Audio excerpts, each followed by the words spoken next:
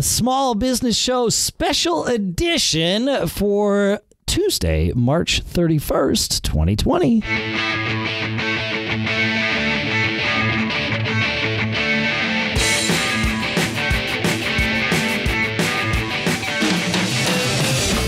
Greetings, folks, and welcome to the Small Business Show. A little special edition, short episode here for you. I am, uh, as always and as expected, here in Durham, New Hampshire. I'm Dave Hamilton. And out in Lafayette, California, I'm Shannon Jean, and happy to come to you on this uh, special edition. Wanted to talk about uh, what's going on with small business and the COVID nineteen shutdown. You know, everything things are changing daily. Um, and you know, right now the focus is on stopping the spread of this virus, which is uh, uh, where we have to focus on right now. You know, but I know that all of us small business owners are also trying to keep our businesses afloat keep your team employed, figure out what's going on. So, you know, we, we get a lot of questions on the show. We got a great question today um, about two major government relief programs that, that, came out as part of this CARES uh, package that was approved. Was it last week? Last week, Friday? I think it was Friday that finally, it was finally Friday. Yeah. yeah. yeah signed yeah. law. Yep. And so we, we want to dive into the details. Yeah, because and, it and actually has some things for small business owners, like it, it like real things that you can do and probably should do. I mean, you right got now, you got like right yeah. now, yeah. You yeah. you should talk to your accountant and any of the things that we're about to tell you to do here. You know, obviously Correct. you got to run them through your your your own little system because we don't know your business. But uh, but yeah, it this this thing's pretty I, am just shocked that it like I've never seen things that are as easy and and uh, and I would agree. I, yeah, I'm, I'm usually there is yeah usually there's a ton of red tape and it's a pain yeah. to, you know to get it and everything, but this time there's actually some some you know relatively uh, simple steps you can take. Um, and there's kind of three major parts, two of them that affect your business and business owners, and then you know their employees, and then there's a third one for self-employed that I want to that I want to talk about. Hmm. Um, mm. And we and so we we got a question from you know Riley L. He wrote in and asked us. He said, "Can you guys take some time on your next episode to talk about the, this new government programs that were just announced?" Uh, with so much going on, I'm not sure if my business would qualify for any of them. So um, I was t- mentioning to you early, Dave, before we started, you know, recording. I sat in on a call uh, this morning with uh, Senator Glazer here in our area, and they had some folks from the SBA on, as well as the local Chamber of Commerce. It was very, very informative, and um, so I thought we would jump in today. That's why I thought we'd do this special edition and give you a, our take on it and what we think is happening, as well as we can give you some links to to dig deeper for your yeah. business. Yeah, for sure for sure. Yeah. So uh, jump in anytime, Dave, too, because I, yeah. start, I start talking everything. But but there really is two main programs announced for small business relief. The the first one is um, one related to payroll and one kind of related, you know, just your business. And we'll go into the this uh, economic injury disaster loan, the EIDL, uh, EIDL, they're calling it, and there, there's a few and parts the, to That's the one that's not related to payroll. You don't have to have Correct. employees to qualify for this first one that we're going to talk about here, the EIDL thing. Yeah. Yeah. And the it's unique in the sense that most SBA, Small Business Administration programs, they don't do it direct. You have to go through a bank, through your lender, you know, or they'll give you the name of a bank to go through, and then they guarantee everything. Right. But this is different. So this you can apply right on the uh, SBA website. We'll put a link in the show notes at businessshow.co. Um, it's there.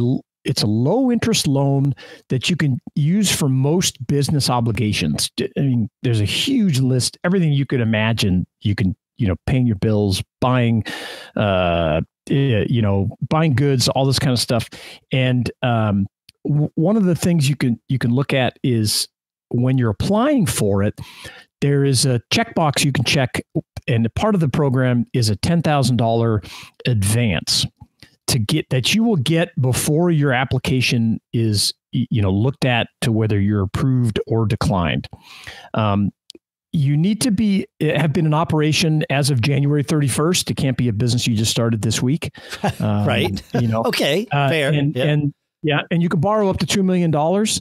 Um, it's based on some.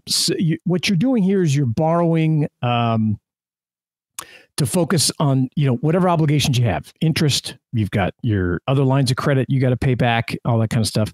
And when you apply, you're going to list your previous year's revenue and your cost of goods sold because they're trying to get a feel for how much cash are you do you need? Yeah, how uh, profitable? To, to, how, what's your profit picture look like? That's right. Yeah, yeah. yeah. And the the interesting thing about this uh, EIDL package is that when you make that ten thousand uh, when you click that checkbox and you request that advance, that is a grant, and it does not have to be repaid, even if your uh, application is turned down. If they say, "Yeah, we're not, you don't qualify," that $10,000 grant is yours to keep to keep yourself going right now. All they want to know is that you are in business, you have a business, you have to give them your tax ID or your social security depending upon how you structure, you know, your business. And, and that EIDL is open again, we're not accountants, but I'm going to ask you this anyway. That EIDL is open whether you have a, a LLC or a C corp or an S corp or even if you are a sole proprietor, correct? Sole proprietor. Correct. It's very broad. You, you can just see That's they've crazy. thrown this up yeah. because on the on the call it this seems too good to be true right? Yeah, I mean, we'll pay for this in the end. By the way, so you should go well, get. It's this. our money. They're That's just giving our money back to us. They're giving it. The government has. Like I have to remind my kids this all the time. The government has no money. They only have the money that they take from us. Right. So in essence, you know, you're you're getting some of your money back, um, and uh, it it's an interesting way to do it, and and I you really see how they understand look, the economy is shut down. We even have to really jumpstart it. And so, all the things that you normally, all the hoops that you normally have to jump through, they're just gone. The application only takes a few minutes. Yeah. Um, and then they'll follow up information when they request, you know, document stuff, your loss of revenue, what's going on. Because um, then that'll also, you'll get an SBA uh, agent that'll contact you and they're going to help you figure out what's the amount to borrow. Because you don't want to bar, you know, the, the, the amount that you borrow, other than that ten thousand dollars, you're going to have to pay back. So right. you got to factor that in. Um, those th- this part, this loan is not forgiven. Just so you can get that access to that ten thousand dollar grant, which could help you through the next you know week or so, or whatever you have going on. You know, maybe helps pay your rent. You know that kind of thing. Yeah. Um, so we'll put a, a, link at the show notes uh, at, at again at businessshow.co. Highly recommend you apply. Uh, you know, if you have to have a, a, business that has less than 500 employees, I imagine most people listening to us, that's applicable. Yep. Um, and uh, I would recommend you do it. Talk to your accountant, but uh, I, I just don't see a lot of reasoning for not applying. Uh, yeah, I'm at, trying at to figure point. out if I should apply for only one of my businesses or multiple businesses. Yeah.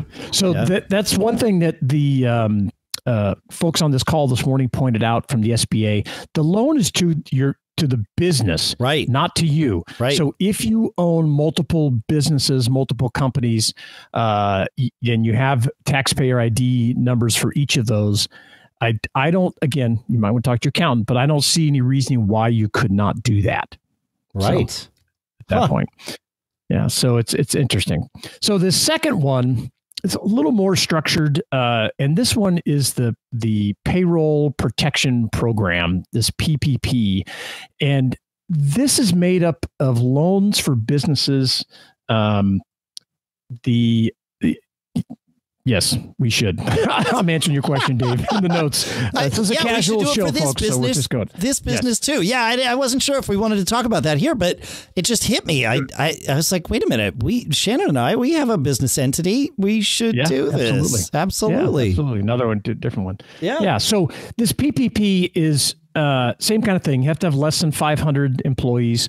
Um, the unique part of this is, again, you can be self employed you can be a sole proprietor. You can even be an independent contractor, meaning you got paid. You know, there, there's some really interesting nuances. Yeah, they it. they're opening a lot up. There were there were some things that basically said if you either are an independent contractor or are paying people as independent contractors, but really they're people, so you yep. could treat them as an employee. They're not. Right. It doesn't sound like they're going to use this to come after you for not having no. treated them like an employee. This is truly a, a, a, help, not a they're, you know. They're trying to get cash into people's hands, yeah, right? And, yeah, which is which is great. So, like like traditional SBA loans, these will go through banks. The these uh, the PPP the program, paycheck protection. Okay, yeah, paycheck protection. They're going to go through banks. Uh, it and as of today, uh, you know, lenders don't have all the details to start it, but they're supposed to have it uh, they're hoping by the end of this week. You know, they just got the the bill just passed on Friday, but I would suggest you contact your banker um, and and start talking to him about it because there is some unique aspects that I I, I want to talk about next. Um, that I know you're going to want to take advantage of, and that are going to help your small business. Hmm. The first, there's no personal guarantee required, and there's no collateral required. This is not a loan that's based on your credit rating, based on you signing a personal guarantee, based on how much equity you have in your building or your house or anything like that. Um, the payments are deferred for at least six months and not more than a year. So you have some time to get in your feet. Uh, they're going to make loans up to $10 million and basically two and a half times your average payroll from the previous year, plus other expenses that you can add back in, like healthcare, vacation, uh, anything. It's a huge basket of things related to what what it costs you to have employees. Right. Wow. Now here's the very the interesting part is these loans have the option to be forgiven. And the more of your employees you retain, the more or the larger percentage of your loan will be forgiven. Even if you've already furloughed or let go employees, you can bring them back. It counts if you bring them back on. So if you've been like, look, you know, I'm already in, in the tank here and I can't keep 20 employees here. I'm down to two and we're making, you know, doing things ourselves or whatever. Um, once you get the loan, if you bring them back on, you, you're going to qualify for that forgiveness. And, and it's prorated.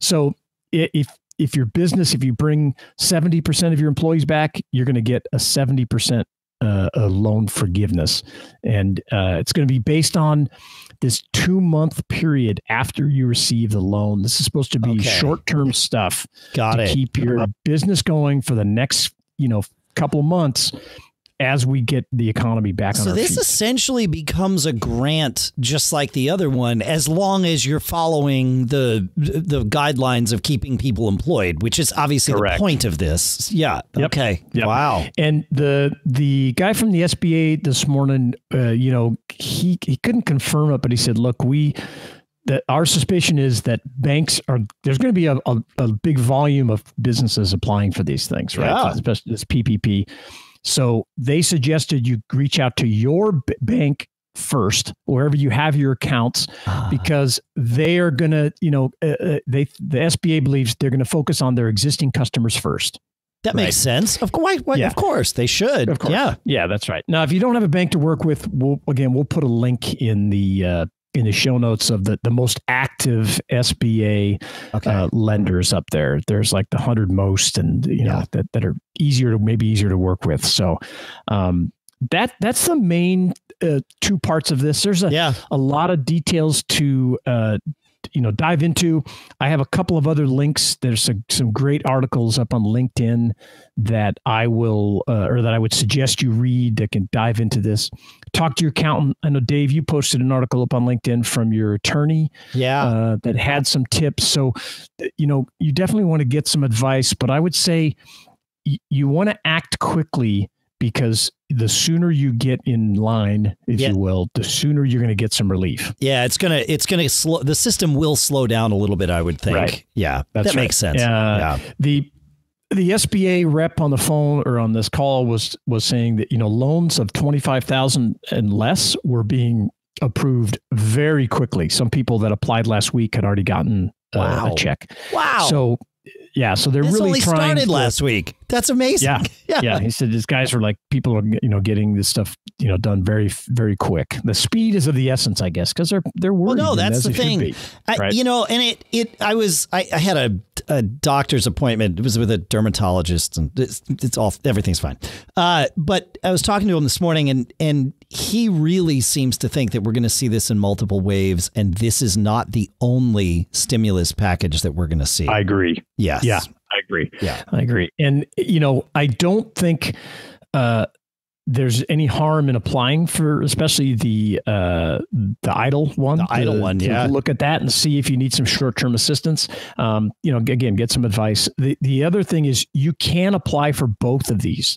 The only thing you need to be aware of is when if you go to your banker and apply for the uh, Paycheck Protection Program, be sure to let them know if you got that ten thousand dollar grant part of the EIDL program because they're going to deduct that from whatever they loan you. Okay, so you uh, can't double dip. Got it. That's correct. Okay. Yeah, yeah. so you okay. don't want to get get in there in there backwards and you know, you don't want to take out that loan if you're not going to keep your people on for this paycheck protection program because then you're just right. going to have to have another loan. Whatever's left over after that uh, two month period you know once you get your uh, this this PPP loan, they convert to a ten year note to pay off at four percent. Oh, that's not bad. Yeah, yeah, huh. it's not bad. Huh. Um, that's not bad. So yeah, so dig a little deeper in these. I would again uh, urge you to do some some quick action, uh, and then lastly, the another new aspect of this uh, CARES package is that if you're self-employed or you're a contractor or a gig worker, you can now file an unemployment claim and you have not been able to do that before. And this includes things like real estate agents, uh, you know, all kinds of different classifications that never qualified. If you're a, you know, an independent contractor, if you're a, a podcast producer, yeah. if you're whatever, whatever you could think of, musicians, you, uh, yeah, yeah, musicians. Yeah. If you have lost your uh, earning power here during this, uh, you know, this crisis that we're dealing with, you have an opportunity to put a claim in for unemployment. And it's not just regular unemployment. It's there it's like unemployment plus you know? Right. Uh, there's a there's some additional funding that come in play to help you get through this stuff. And it's another thing that i would encourage you um, again i don't know that the you, you need to check with your state unemployment office and see whether they have that up and running.